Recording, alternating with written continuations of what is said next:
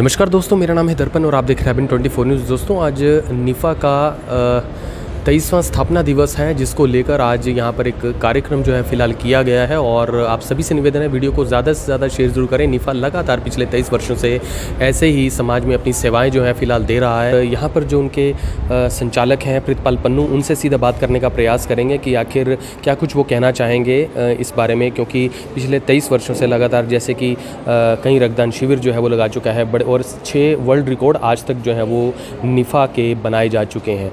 तो फ़िलहाल सीधा बात करने का प्रयास करते हैं प्रतिपल पन्नू जी से और उससे पहले जो है एक पौधारोपण करके समाज में एक अच्छाई जो है फ़िलहाल उसका एक मैसेज भी देना चाहेंगे। तो फ़िलहाल इस वीडियो को ज़्यादा से ज़्यादा शेयर ज़रूर करें।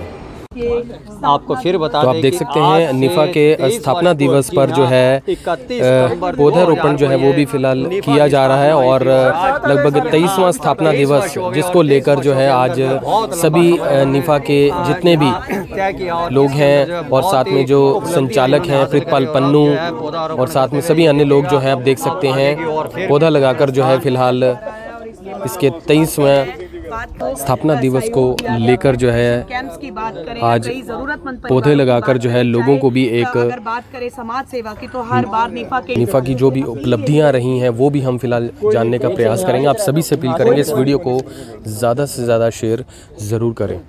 सर, क्या कुछ बताना चाहेंगे? आज तेईसवां स्थापना हो चुके हैं। देखिए, एक छोटा सा बीज रोपित किया गया था 21 सितंबर 2000 को, करनाल की इस भूमि से।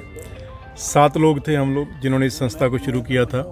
आज सात हज़ार से ज़्यादा हो चुके हैं। करनाल एक छोटे से शहर से ये अभियान शुरू हुआ था निफ़ा का और आज जो है देश के 28 राज्यों और केंद्र शासित प्रदेशों में निफ़ा पहुँच चुकी है।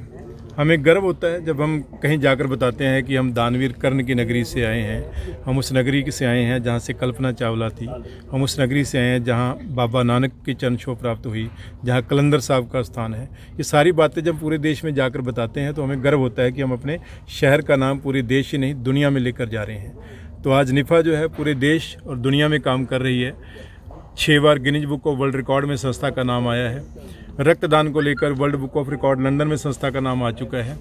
हरियाणा की एकमात्र संस्था है जिसे देश का सर्वोच्च पुरस्कार जो राष्ट्रपति से मिलता है राष्ट्रीय युवा पुरस्कार। व्यक्तिगत रूप से तो कईयों को मिले हैं, लेकिन संस्था के रूप में पूरे नॉर्थ इंडिया में एक ही संस्था है, जिसको आज तक ये सम्मान मिला है, राष्ट्रीय युवा पुरस्कार जो राष्ट्रपति से मिलता है। तो ये सारी उपलब्धियाँ जो हैं, ये सारे एक टीम वर्क की वजह से जो निफा की सशक्त टीम है, जो हमारे युवा साथी हैं, उसके साथ जो हमारे लाइफ मेंबर, पैटर्न मेंबर जो हमें आशीर्वाद देते हैं, इस इलाके के जो संत महापुरुष हैं, जो धार्मिक, आध्यात्मिक हस्तियाँ हैं, उनकी जो ब्लेसिंग्स हमें मिलती है, देश का जो साथ मिलता है, और प्रशासन ने भी हमारा बहुत साथ दिया मीडिया ने बहुत हमारा साथ दिया। सरकारों ने भी बहुत हमारा साथ दिया। मैं सबका धन्यवाद करना चाहता हूँ कि निफा आज अगर एक वट वृक्ष बन रहा है, अभी नहीं हम कहेंगे बना, अभी बहुत कुछ करना बाकी है। अभी तो हम आगे बढ़ रहे हैं, लेकिन एक वट वृक्ष बढ़ने की और जो निफा अग्रसर है ये सबके संयुक्त प्रयासों से, सबके सहयोग से और सबका साथ देने से ही संभव हो सका है। अभी आने वाले समय में हमारी बहुत सी प्लानिंग है। 2025 के अंदर जो है निफा की सिल्वर जुबली जो है वो मनाई जानी है। पीछे जब हमने अपना एनुअल डे फ़ंक्शन किया था तो माननीय मुख्यमंत्री जी उसमें मुख्य अतिथि थे। हमने उनके सामने मंच से एक आग्रह किया था कि निफ़ा पूरे देश से लोग यहाँ पर आते हैं, करनाल में आते हैं, विदेशों से भी आते हैं और यहाँ आकर वो पूछते हैं कि निफ़ा का हेड क्वार्टर कहाँ है तो हमें बताना पड़ता है कि हम लोग घरों से ही ऑपरेट करते हैं। तो हमने उनसे अनुरोध किया था तो उन्होंने मंच से घोषणा की थी कि सिल्वर जुबली से पहले पहले हम निफ़ा को एक प्लॉट जो है वो देंगे, आप भरिए। तो हमने भर भी रखा है। हम उम्मीद करते हैं कि मुख्यमंत्री जी की जो वो घोषणा है, उसके माध्यम से हमें निफ़ा को एक प्लॉट जो है वो करनाल में मिलेगा। यहाँ पर एक प्रॉपर जो है हम लोग युवा विकास केंद्र बनाना चाहते हैं। और वो युवा विकास केंद्र ऐसा बने जहाँ पर जो है, देखिए, जो आध्यात्मिक केंद्र हैं, चाहे वो प्रेम बहन जी चला रहे हैं, चाहे मानव सेवा संघ में चल रहा है या डेराकार सेवा में चल रहा है, या सनातन धर्म मंदिर में चल रहा है, स्वामी ज्ञानंद जी महाराज चला रहे हैं, इन सभी से लोगों को, युवाओं को आध्यात्मिक बनने की प्रेरणा मिल रही है। जब बड़ी अच्छी बात है बहुत ज़रूरी भी है, हम एक युवा विकास केंद्र एक ऐसा बनाना चाहते हैं, जहाँ से देश के युवाओं को राष्ट्र के साथ जुड़ने की प्रेरणा मिले, धर्म जाति से ऊपर उठकर राष्ट्रीय एकता और अखंडता की बात करने की मिले। हम एक एक महीने के पंद्रह पंद्रह दिन के ट्रेनिंग के वहाँ जो है शिविर चलाना चाहते हैं, जहाँ पूरे देश से युवा आएँ और यहाँ से ट्रेनिंग लेकर एक युवा नेता के रूप में अपने यहाँ जाकर, राजनीतिक पार्टी के युवा नेता के नहीं देश की बात करने वाले युवा नेता समाज की बात करने वाले युवा नेता बनकर यहाँ से जाएँ और अपने अपने क्षेत्र में जाकर देश और समाज की बात करें। एक हमारी ये आने वाले समय में है।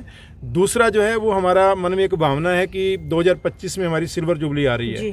25 साल पूरे हो जाएँगे जो बहुत बढ़िया एक आ, मैं समझता हूँ कि एक बहुत बड़ा फेस्टिवल होगा किसी भी संस्था के सिल्वर जुबली का होना। और हम लोग जल्दी ही एक पूरी योजना बना रहे हैं जिसको हम लोग मीडिया के माध्यम से लोगों तक लेकर आएँगे।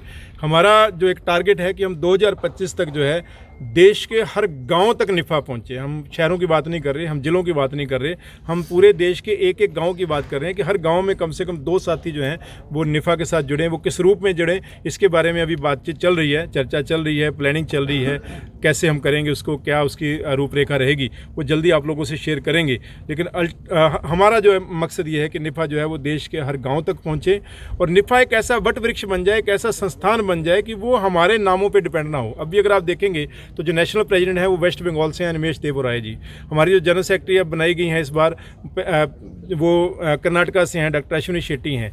हम लोग यहाँ पर काम कर रहे हैं। तो निफा को एक ऐसी संस्था बनाना चाहते हैं, जहाँ लोग पद के लिए काम ना करें, पद मिले, ना मिले। हमें काम करना है।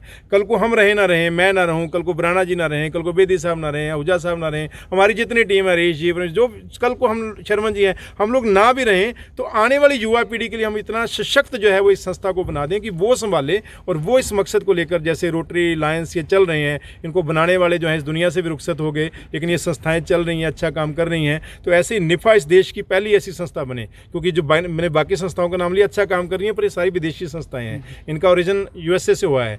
तो हम निफ़ा को इस देश की पहली ऐसी संस्था बनाना चाहते हैं जो देश के कोने कोने में हो और जो ऑटो मोड पर चले और ऑटो मोड पर चलते हुए जो भी आगे युवा आते रहे वो इसके मेंबर बनते रहे और इसको संभाल कर देश और राष्ट्र की और समाज की बात करते रहे। ऐसी क्या भारत में समस्या है समस्या है? तो फ़िलहाल आप सभी से निवेदन है इस वीडियो को ज़्यादा से ज़्यादा शेयर ज़रूर करें। निफ़ा की उपलब्धियाँ काफ़ी समय से हैं और काफ़ी अच्छी भी हैं। लोगों के लिए कई तरह की जो सेवाएँ हैं वो निफ़ा की तरफ़ से लगातार पिछले तेईस वर्षों से दी जा रही हैं जिसमें रक्तदान शिविर से लेकर कोरोना के समय के अंदर भी और ऐसे न जाने कितने सारे लोग हैं जिन्हें जो है समाज में बहुत सारी चीज़ों की ज़रूरत पड़ती है, लेकिन उनकी कोई मदद करने वाला नहीं होता है। तो आप सभी से निवेदन है, वीडियो को ज़्यादा से ज़्यादा शेयर ज़रूर करें और दो साल बाद ही निफ़ा अपनी जो है सिल्वर जुबली जो है वो फ़िलहाल मनाएगा।